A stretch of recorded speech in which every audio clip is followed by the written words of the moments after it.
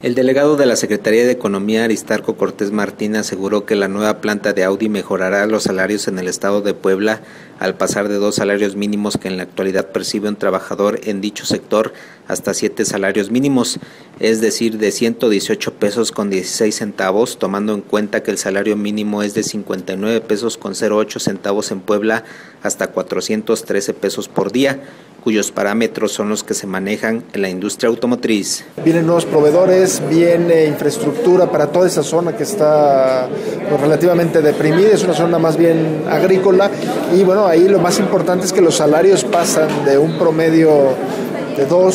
salarios mínimos a, salarios mínimos de, automotrices, ¿no? que ya estamos hablando de 5, 6, 7 salarios mínimos. Eso es, eso es importante porque eso derrama económicamente a, toda la región. En entrevista un día de que se dio a conocer la llegada de la nueva planta de Audi a San José Chiapá, el funcionario federal dijo que ya se trabaja en la realización de una serie de proyectos complementarios en dicha zona de entrada comentó que de manera conjunta con la Universidad Autónoma de Puebla se pretende establecer el centro de capacitación laboral más moderno del país, para lo cual se podrían destinar 15 millones de pesos. Asimismo dijo que se trabaja con el gobierno del estado para el establecimiento de parques industriales al grado de que la administración de Felipe Calderón podría destinar alrededor de 60 millones de pesos. Para puntual informó Aarón Martínez.